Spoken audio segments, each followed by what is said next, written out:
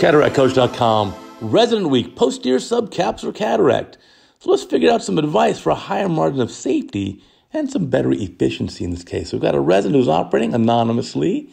There's the side port incision, a paracentesis, and now blue dye. Okay, now again, I don't really need trypan blue dye in a case like this. I understand it can make the lens capsule less elastic, make it a little stiffer, make it be easier for the rhexis, but you've got a great red reflex and you want to get out of the habit of doing things that are inefficient or extra steps that are really not needed. If you have a great red reflex, like in this case, you just don't need it. Forget about the cost issue, which we talked about before. So here comes the main incision with the keratome. And a, that's not too bad. It looks like a little on the short side for me. And let's see, more viscoelastic. Yeah, that's a beautiful red reflex. Now, with a very extensive PSC cataract like this, it's not going to be a very dense nucleus, right? You can see there's not much nuclear density in this. So in a case like this, I really like to get that lens nucleus up out of the bag, away from the posterior capsule, because you're not going to have to put much energy at all, very little ultrasonic energy. Beautiful rhexis, by the way, good job there.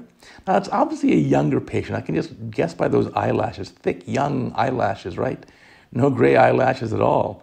This just looks like a younger patient. Typically, all right, PSC cataracts tend to be in younger patients. Oh, there you go. You brought the nucleus up. Good job, good job. Also, at your stage, put some viscoelastic behind the nucleus. There's a gap in that gap, so you have a barrier behind the nucleus and in front of the posterior cap, so you have a little extra wad or aliquot of viscoelastic. Now let's see the nucleus removal.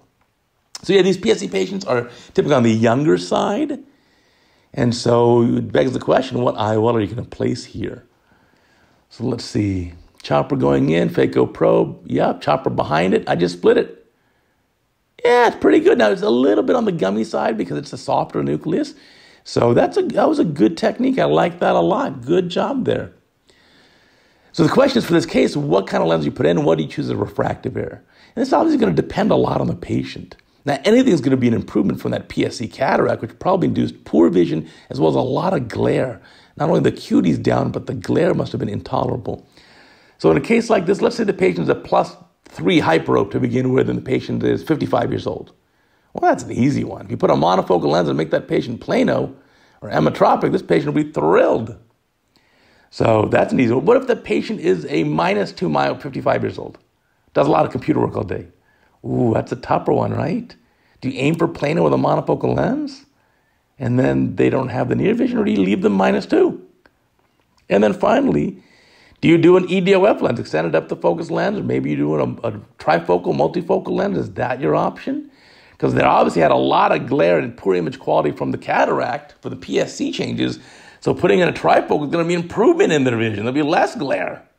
So all are reasonable options. I mean, leave your comment below. Let's kind of see what the group thinks. What would the group put in this eye? Let's assume it's a 55 year old patient with that PSC cataract, and the patient's a minus two myope spherical, and the patient uh, does a lot of computer work. What would you do? And the patient says, Yeah, if I can get rid of glass, I would love to.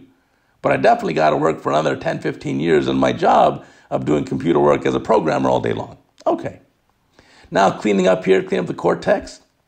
Again, good job here. I'd center up the camera a little bit. I like to keep the eye in the center of the camera. Sometimes it's not easy, and I know your view through the scope is wider and larger than the view through the camera.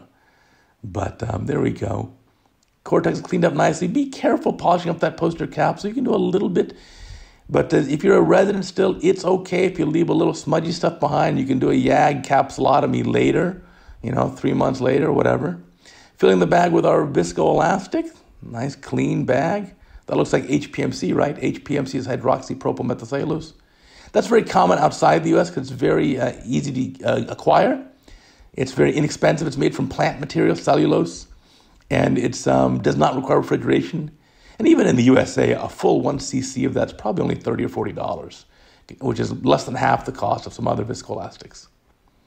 Which, as you know, the other ones in general are made from rooster combs. Yeah, seriously, Google it. You'll be surprised. So here you go, cleaning out the viscoelastic from the eye. This HPMC comes out pretty easily. It doesn't stick too much.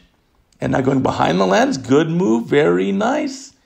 Very nice. And by the way, the draping is good. Eyes in pretty good position, other than the scope not being fully centered. But you've done a really great job here. I'm impressed.